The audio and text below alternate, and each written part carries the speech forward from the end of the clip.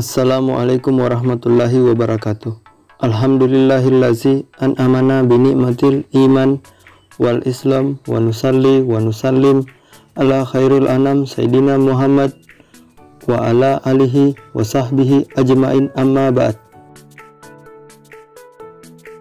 Gunung Kelabat adalah gunung berapi yang sudah tidak aktif lagi. Di bagian atas Gunung Kelabat terdapat kawah yang berbentuk dengan danau kecil, menampung air berkilau bersih. Untuk mendaki Gunung Kelabat melalui kawasan perairan air Madidi bisa ditempuh dalam waktu 8 jam perjalanan. Gunung Kelabat adalah gunung yang tertinggi di Provinsi Sulawesi Utara. Puncak gunung mencapai ketinggian sekitar 2100 meter di atas permukaan laut. Gunung ini disebut oleh masyarakat Tonsea atau suku Minahasa Utara sebagai Gunung Temporok. Gunung ini merupakan objek wisata alam dan bisa ditelusuri dari air Madidi, ibu kota Kabupaten Minahasa Utara. Kata kelabat diambil dari bahasa Minahasa yaitu kalawat. Diolek dari tonsea kalabat Kalawat adalah nama satwa liar setempat yang biasa juga disebut babi rusa. Kata ini disebut-sebut oleh pelaut Portugis Salebes sebagai nama sebuah gunung di Pulau Sulawesi. Kata tersebut dinamai sebagai nama pulau yang kemudian menjadi Salebes sama dengan Silebes dan kemudian berubah menjadi Sulawesi. Menurut cerita penduduk lokal, Gunung Kalabat memiliki banyak kisah-kisah mistis. Walaupun demikian, hingga saat ini Gunung Kalabat ramai dikunjungi dan didaki oleh pendaki dari luar Sulawesi dan mancanegara.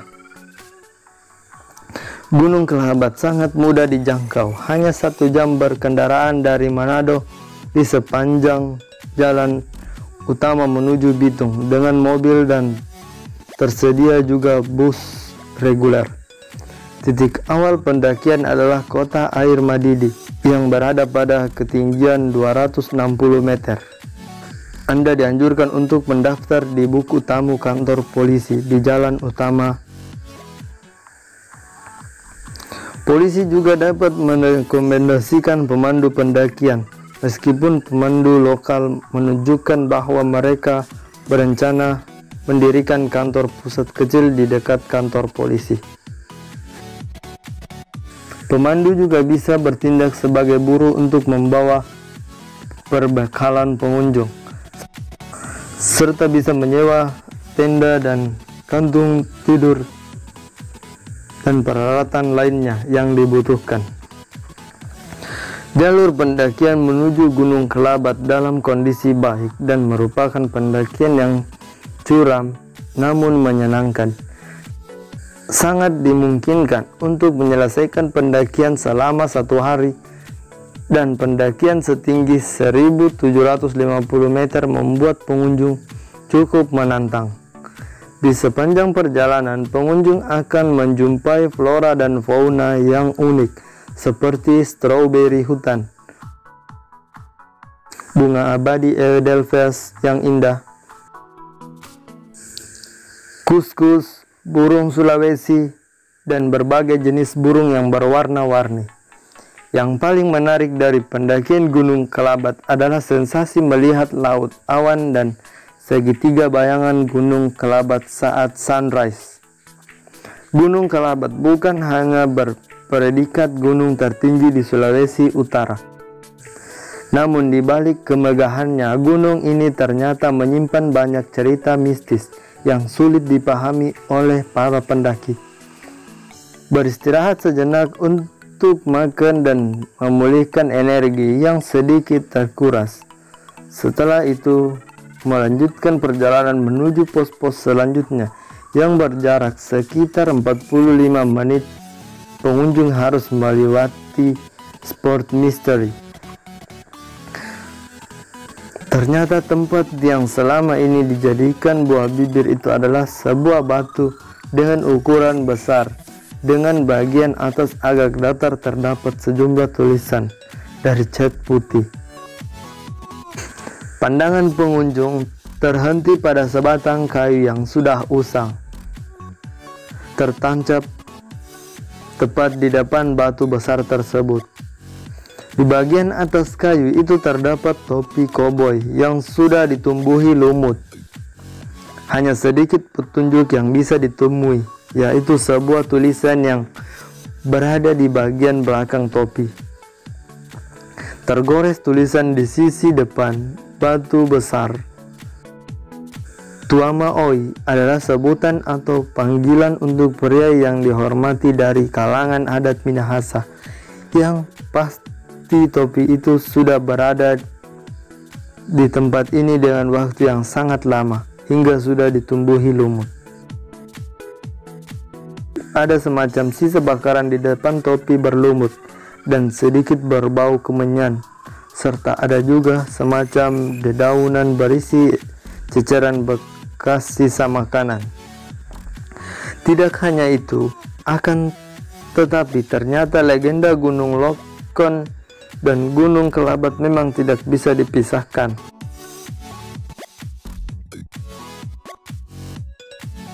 Konon zaman dahulu Gunung Lokon merupakan gunung tertinggi di tanah Minahasa. Bahkan ketinggiannya hampir mencapai langit. Sedangkan Gunung Kelabat sendiri merupakan gunung terendah di tanah Minahasa. Misteri gunung dan legenda masa lalu dari Gunung Kelabat dan Gunung Lokon merupakan gunung berapi yang sudah tidak aktif lagi terletak di Sulawesi Utara. Gunung ini menawarkan panorama indah yang memukau untuk siapa saja yang mengunjunginya. Walaupun begitu, banyak sekali cerita misteri Gunung Lokon yang juga dikaitkan dengan legenda masa lalu. Pada zaman dahulu kala masyarakat di Gunung Kalabat ingin agar tempat tinggal mereka lebih tinggi dari Gunung Lokon.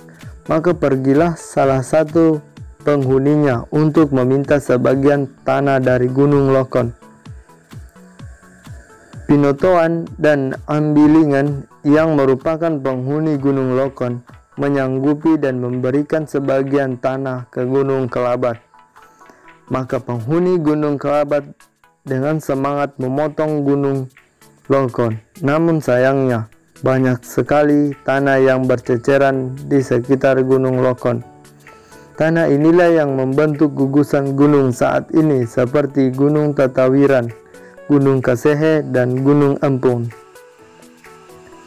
Dari situlah Gunung Lokon menjadi rendah dari Gunung Kelabat. Bahkan sekarang ini puncak dari Gunung Lokon sendiri sudah tidak ada lagi sebab sering meletus.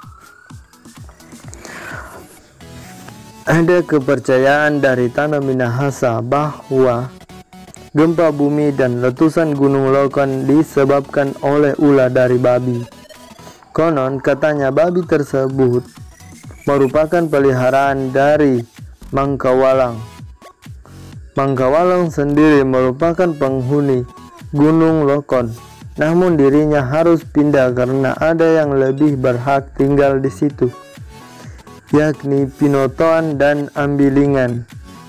Dengan hati yang sedih, Mangkawalang berjalan menyusuri hutan dan turun gunung, hingga pada akhirnya di bawah kaki gunung terdapat gua yang sangat besar di gua itulah dirinya mendirikan rumah dengan menancapkan tiang penyangga agar tanah tidak menindih dirinya.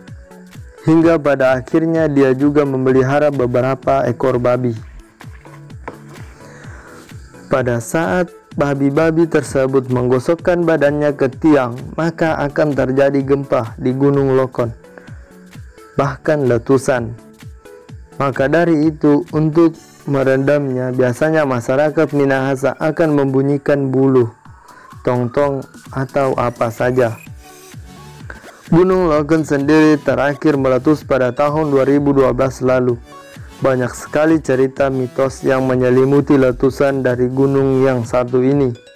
Mulai dari mulai dari urutan letusannya yang tidak sama dengan gunung berapi kebanyakan hingga ditemukan jejak kaki raksasa setelah letusan gunung. Banyak yang menganggap bahwa telapak kaki yang ada di Gunung Lokon sudah ada sejak ratusan tahun yang lalu. Banyak yang mengaitkan bahwa jejak kaki tersebut merupakan penghuni raksasa dari Gunung Lokon. Dilihat dari jejak kaki tersebut, biasa diperkirakan tinggi dan tinggi dari antara 6 hingga 7 meter. Konon beritanya Gunung Lokon akan meletus jika ada pemuda dan pemudi di desa Warebung yang melakukan hal-hal tidak bermoral atau salah pergaulan. Bukan hanya pemuda-pemudi yang ada di desa itu, akan tetapi pemuda-pemudi yang datang dari desa lain dan melakukan hal-hal yang tidak bermoral akan membuat Gunung Lokon marah dan meletus. Walaupun letusan Gunung Lokon sangat besar hingga menyemburkan abu vulkanik, namun desa Warembung selalu terlindungi. Pasalnya, Gunung Tatawira yang ada di dekat Gunung Lokon itulah yang menjadi perlindungan desa Warembung atas letusan Gunung Lokon. Itulah legenda masa lalu Gunung Lokon yang masih memiliki kaitan erat dengan Gunung Kelabat menjadi cerita turun-temurun dari Sulawesi Utara.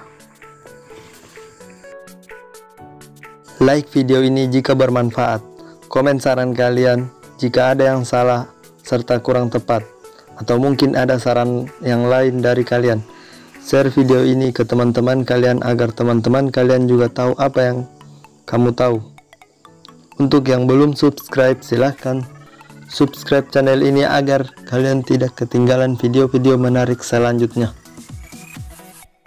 Untuk yang sedang menonton video ini, saya sarankan agar kamu menonton video ini dari awal sampai akhir, supaya kamu tidak ketinggalan informasi, berita, cerita, dan hal unik lainnya.